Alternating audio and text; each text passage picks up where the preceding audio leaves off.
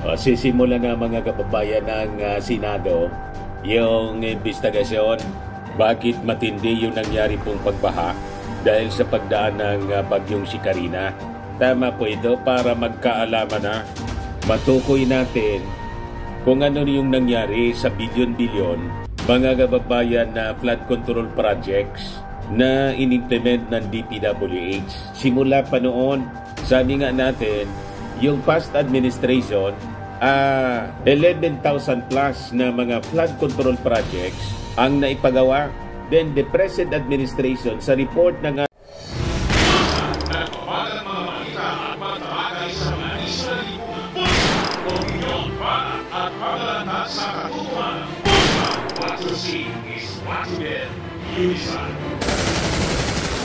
ating Pangulong Bongbong Marcos sa zona, 5,500 na mga additional, although nationwide po ito, hindi man sa concentrated lang sa Metro Manila, buong Pilipinas. Yung past administration, gumastos ng 2.5 trillion pesos. Habang sinasabi dito, uh, sa previous mga previous na mga statements ng mga senador, sabi 450 billion yung uh, ginastos pero hindi man lang po maramdaman. Bagay ni Anya Mr. Maravillas ang nakaramdam yung mga buhaya. nakaramdam ng ginawa pero yung mga community sa Metro Manila walang maramdamang ginawa. Kaya nga po, approve natin ito. Sang-ayon tayo sa investigasyon. Simulan ninyo 2016 hanggang sa present administration para talagang uh, magkaalaman na. Kasi yung mga supporters ng uh, past administration ang tinuturo yung ating administrasyong Bongbong Marcos. Pero hindi man natin mga kababayan pwedeng i-ignore yung past administration. Kasi yung ondoy po nangyari 2019. Sabi nga natin, hindi man dapat na 2019, uh, 20, 2009 pala, hindi 2019. Hindi man po pwede na may masama na tayong experience po sa Ondoy. Pagkatapos, walang ginawang aksyon po yung mga administrasyon after Ondoy. Yung Ondoy po, panahon pa ng uh, dating Pangulong GMA yata yon Kasi 2009, si Panot to make over 2010 yata. O, tama, 2010. So, more than 12 years na yung uh, lumipas mga kababayan after Ondoy. Paano nangyari na hindi na-remedyohan mga kababayan yung mga pagbaha sa Metro Manila? Ibig bang sabihin na failure yung mga uh, flood control projects na inimplement po?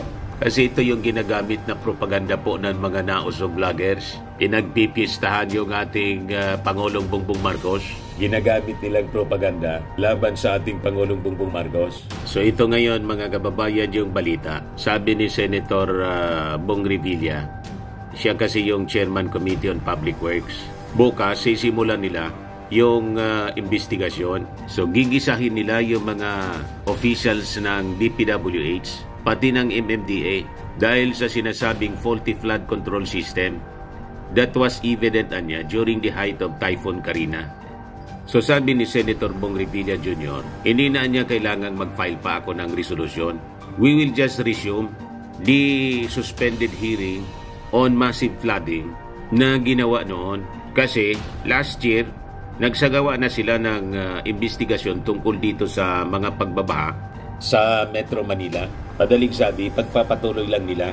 So sabi po ng senador, bali niya tinutukoy, tinutukoy lang natin yung hearing natin noong nakaraan at tinutuloy lang natin. Sinuspend natin noon so itutuloy lang natin yung ating hearing nito. At the same topic, The same topic din ang problema na dapat nating i-follow up. So other than yung mga taga DPWH, DPWH po sa KMMDA, tatanungin din po mga kababayan yung uh, Department of the Environment and Natural Resources, DNR, saka yung DILG.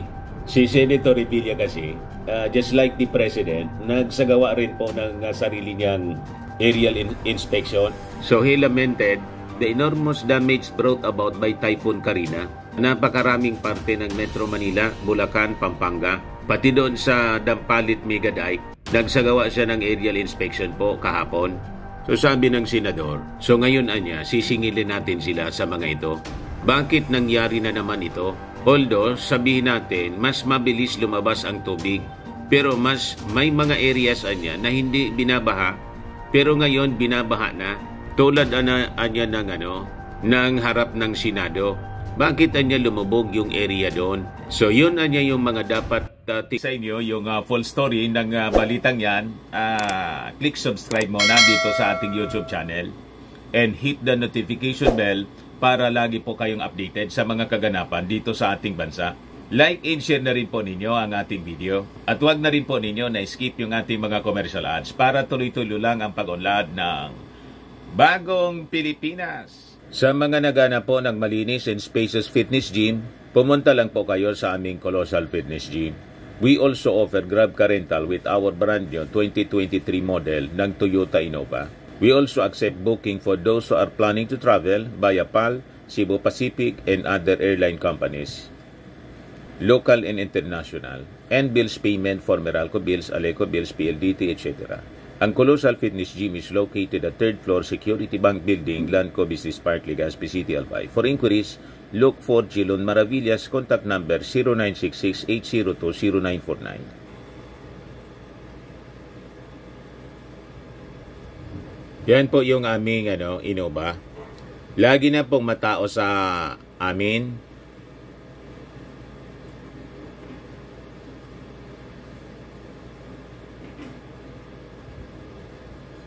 Yan po mga bagong clients namin. Napakaganda at colorful at napakalinis ng aming gym po. Pati mga foreigners po pumupunta sa amin, mga British ano, tourist po sila dito sa Legazpi. Na-set up na rin po yung aming mga brand new gym equipment.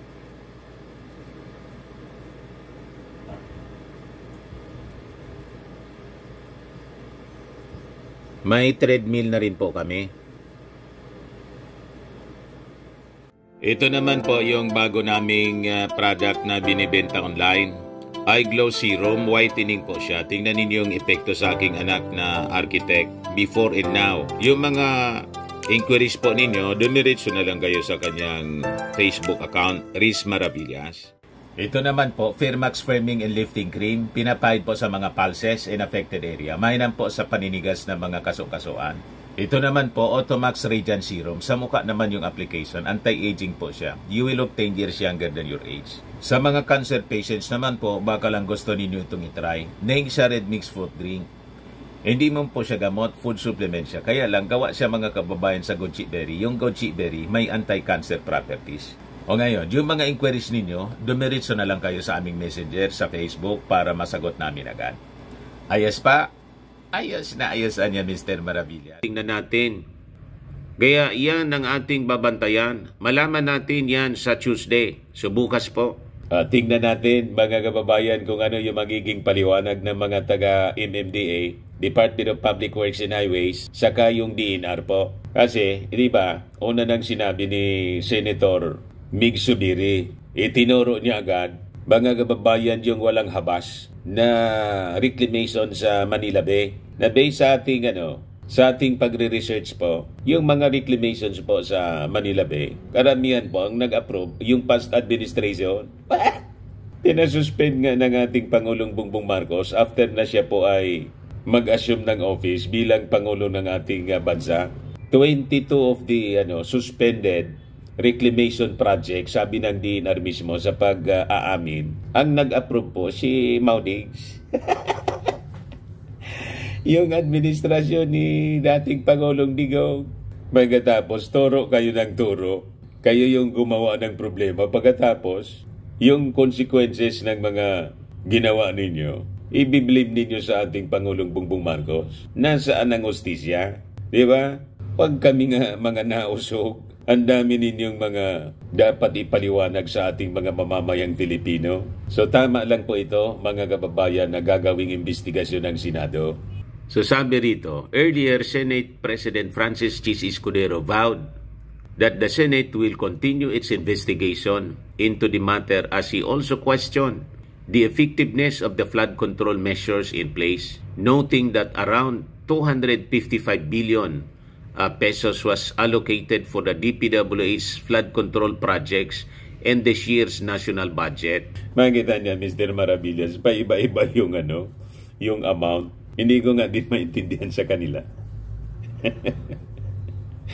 The other day, sinasabi po, uh, 450 billion. Ngayon, iba na naman, kalahati na lang. Yan kasi, daldal kayo kaya ka, kaagad ng daldal. I-check muna ninyo kasi siyempre kami na mga journalist, i-quote lang namin kung anong sinasabi ninyo. Di ba? Sabi ninyo, eh, si Super Ate yata, yung naunang nagsabi na umaabot sa 450 billion. But anyway, basta billion.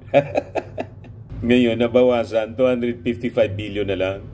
Escudero lamented the DPWH budget for 2024 daw was extremely large compared to the other critical government agencies. So napakalakihan niya. Bakit uh, nangyari ang ganon? Pero po, Senator Cheese, mas malaki yung past administration. Kaya mas kailangan kalkalin ninyo yon. Yan o. Napakalaki. 2.5 trillion pesos mga kababayan. Ayan o. Ah, kay Mau Diggs. Sa zona po niya, 2.5 trillion. Tapos, flood control, ano, flood prevention, mitigation, and control. Ah, sabi dyan, 11,340 projects completed spread all over the country with 7,782 projects in Luzon. So napakalaki. Yung 255 billion, maliit po yon. Ang liit-liit kung ikukumpara natin sa 2.5 trillion. Di ba? Inanod na ba yon? Inanod na ba yon lahat? kasama sa na-destroy na. So, kailangan kalkalin ninyo. So, yung ating suggestion po, ang investigasyon po ninyo, simulan ninyo sa 2016. Kasi dapat, yung mga projects, kung totoong natapos yon, kung to talagang may nagawa, kasi baka sa papel lang po, pero sa totoo lang, mga ghost projects pala.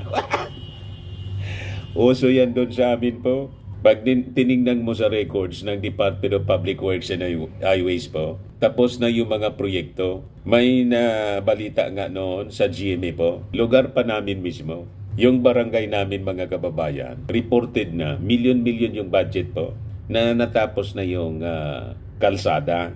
Sementano na, simentano na daw, based doon sa ano sa report ng DPWH. Pero nang tingnan po ng ano ng reporter ng GMA, mga several years ago, mga 5 years ago siguro, mga 10 years. Napabalita yon. Ang makikita mong kalsada po, paliguan ng kalabaw.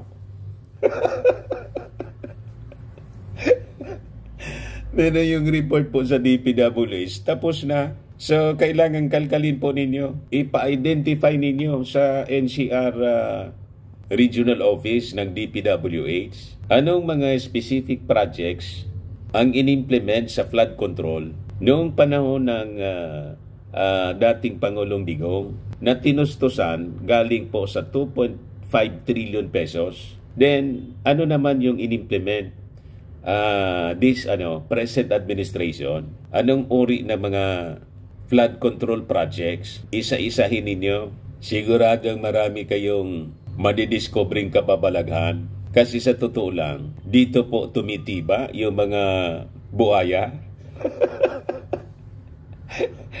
ang daming yumaman po dyan. Kasi, ang daling sabihin na, eh, nabaha na niya. Inanod na.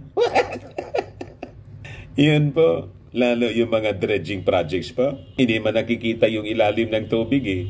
Gustong gusto yan ng mga taga DPWH po. At siyempre yung mga politiko na padrino ng mga projects po, yung mga nagpupundo, most of these mga congressmen, at sa, sa mga local officials. Kaya nga po mga kababayan, itong mga politiko, pag uh, nakaposisyon na po sila, ayaw nang umalis.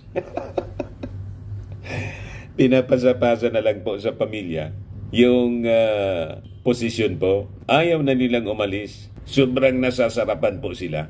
Tama ba? So maganda po itong uh, gagawin na investigasyon ng uh, Senado, pati daw nga yung Congress. magsasagawa din ng investigasyon sila. Gawin po ninyo para malaman ng ating mga kababayan at kasuhan ninyo kung sino yung uh, dapat na managot. Kung may mga involved talaga po sa korupsyon, papanagutin natin sa batas. Tama po? Sabi naman po ni Senator Grace po, ang nakakalungkot niya, some critical infrastructure projects like dikes or irrigation systems are still incomplete. So yun nga ang tinatanong natin, saan ba napupunta ang proyekto? Ngayon, nagkaroon ng uh, pagdinig ang Senado dyan. Nakita na ang mga proyekto tulad ng dike or irrigation system. Hindi pa natatapos. Kulang-kulang. Yan po talaga ang uh, ginagawa ng mga sindikato ng uh, corruption po. Hindi matapos-tapos. Laging kulang po yung uh, pondo. Ang sobra po yung binubulsa. Mati- matindi po ang salamangka pagdating po sa mga infrastructure. Nakita rin natin na hindi natin makita ang totoong proiba ng dredging. Yan po dredging ang... Ang daling pagkakitaan po ng mga politiko. Kasi nga po, hindi man nakikita yung ilalim ng tubig. Di ba?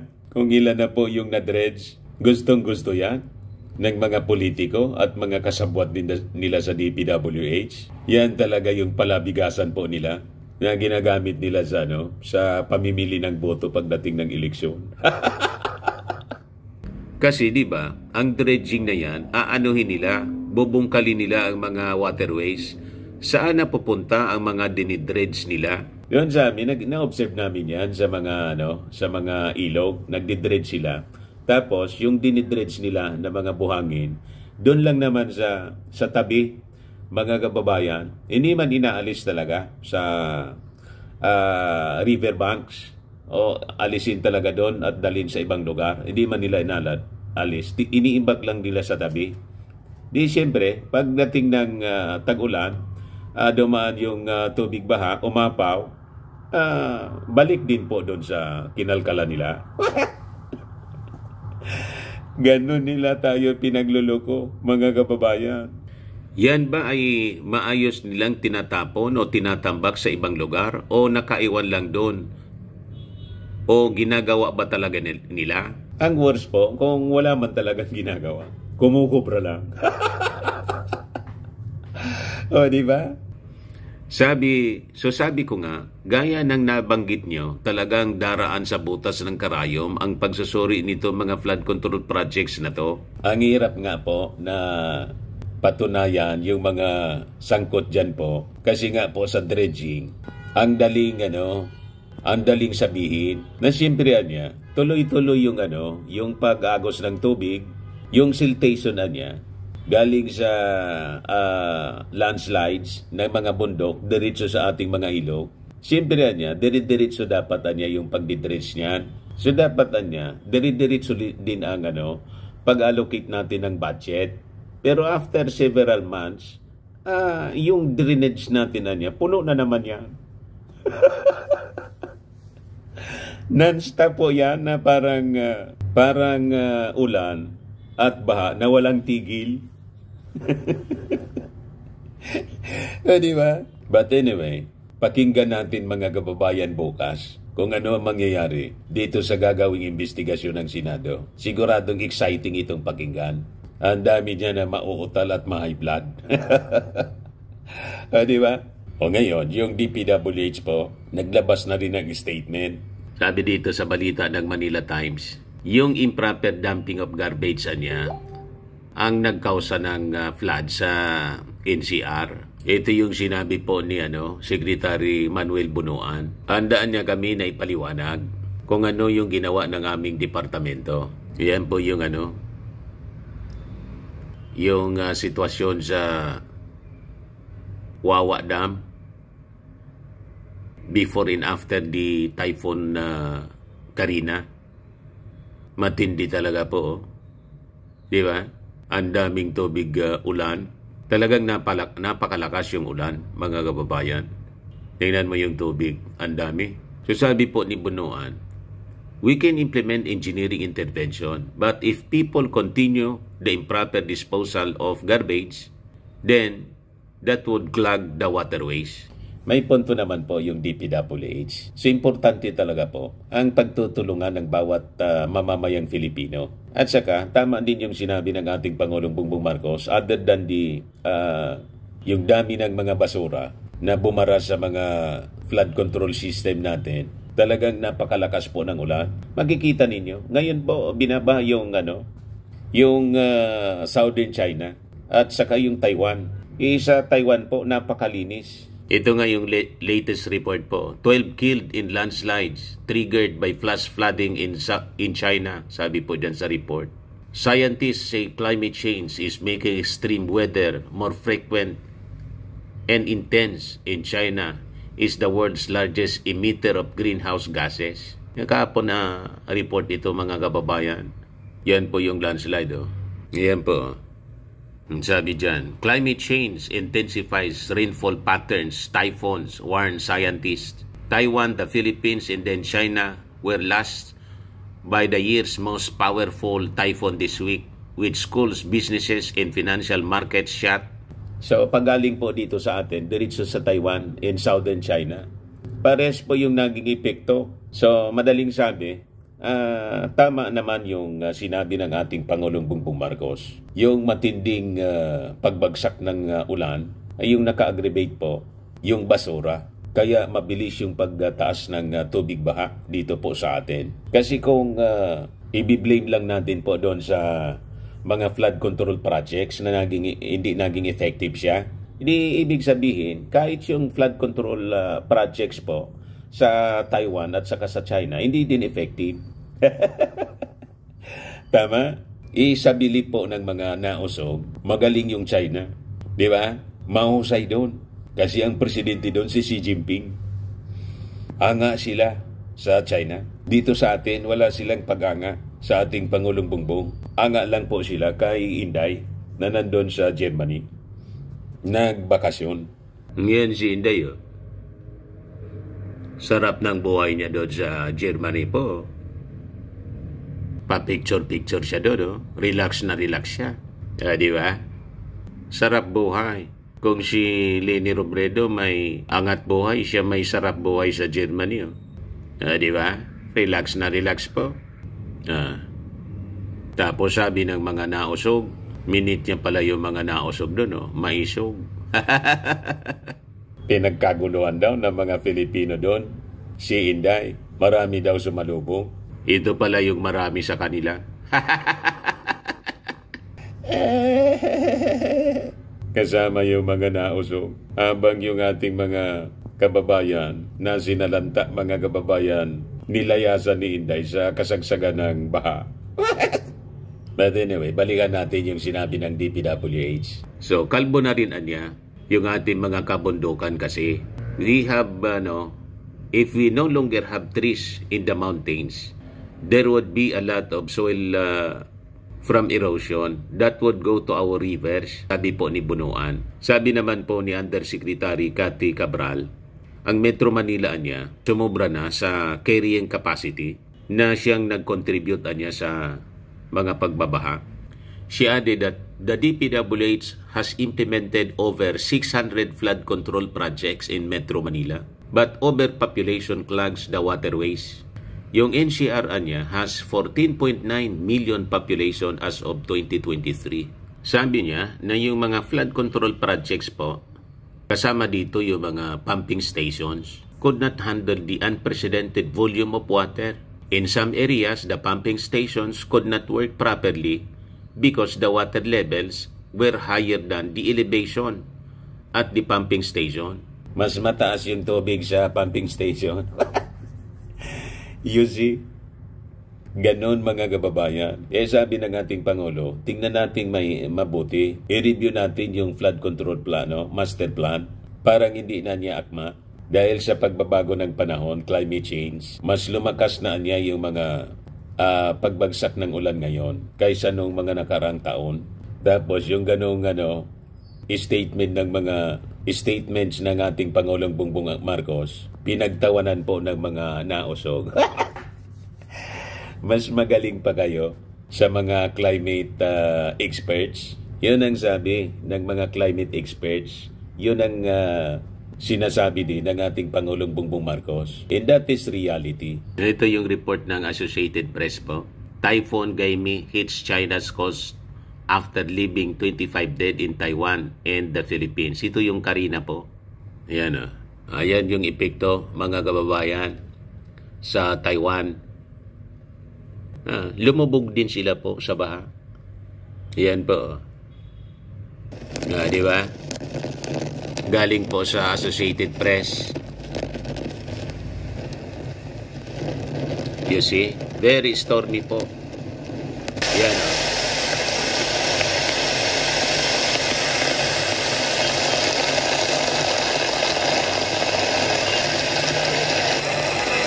Yan o. Malinis na malinis po doon. Walang mga basura na tulad po dito, nagabundok yung mga basura po na hinahakot ngayon ng MMDA at ng mga LGUs. Ayan o. Mountains of trash pile up in Barangay Tatalon after flood. Yan po. Yan ang mga bumara, mga kababayan sa mga flood control systems natin. Eh doon nga sa Taiwan, sa China mga kababayan, walang mga basurang ganyan. Binaha pa dahil sa bagyong Karina, galing dito sa atin. Itayo pa po na alam natin na napakaraming mga basura. Kaya ang panawagan ng ating Pangulong Bongbong Marcos, makisama po tayo. Di ba? Disiplina po sa sarili sa pagtapon ng mga basura. Kasi lumalala yung problema natin.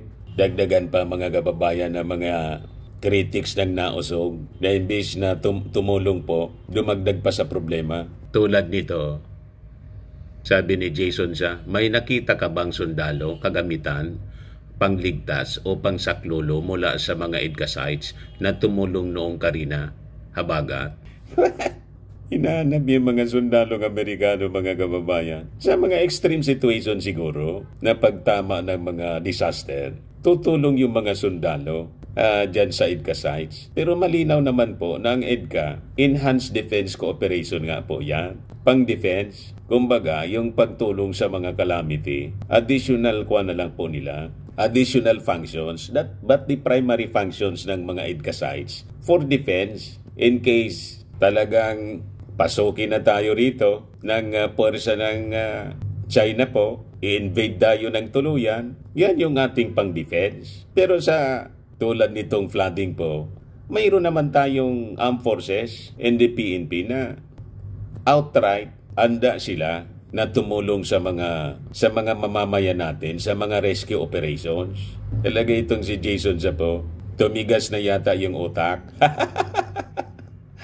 Nawala na yung common sense. Nahawa ng mga taga Fenta Kingdom. Kaya pare-parehas mag-isip sila po mga kababayan. Sige hanap ng diferensya. O ngayon, may ba tayo ng kwento? Idagdag ko na lang ito. Yung uh, bahay ni Harry Roque, ang sabi, ni-raid ng mga authorities, may na tagpuan mga Chinese nationals po. Yan o. Authorities raid Harry Roque's house in Benguet. To Chinese nationals found. The house of former pres- presidential spokesperson Harry Roque at Pinewoods Golf and Country Club in Tuba, Benguet was raided by authorities. Two Chinese nationals were, were found during the operation. Kaya ba? Ewan ko kung bakit ni-raid po. ah, di ba? Wala man ditong uh, binigay na detalye po. Ah. Ah, may relation pala po sa operations laban sa Pugo. Ayan po. Sabi sa report dito ng Philstar, two Pugo workers held in Rocky's house. Ayan po, mga kababayan. Two foreign nationals said to be working for a Philippine offshore gaming operator Pogo facility were apprehended at a house allegedly owned by former presidential spokesperson Harry Roque in an exclusive subdivision in Benguet. Tapos, mga kababayan, confirm. Involved nga sa ano, direkta kang involved sa Pugo, si Harimau. Sabi dyan, Cambodian Con, Morn, 37, and Chinese woman Wang Kiping, 35, were arrested by agents of PAUK at sa kanang Bureau of Immigration. According to Immigration Commissioner Norman Tansinko, the target of the operation was a Chinese woman said to be connected to the raided Pogo Hub in Bamban, Tarlac. Ayon mga kababayan, lumalabas na ang katotohanan. Instead of uh, instead agents of PAUK in the BI found Moorn and Wang, iwan ko kung tama ang basa natin dito, at a house at Pinewood subdivision allegedly owned by Roque in Barangay Poblacion, Tuba Town. So yun mga kababayan ang balita ngayon. So ang daming ipapaliwanag si Harry Roque. Sigurado niya, magtatatalak na naman yun. O di magtalak siya na magtalak, pero magpaliwanag siya sa pulis. Bakit uh, nagamit yung bahay niya? Ano yung kinalaman niya doon sa mga foreign nationals na involved sa Pugo? Ah, di ba? Ayan man lang po mga kababayan. Ako po si Dante Maravillas. Bye-bye. God bless.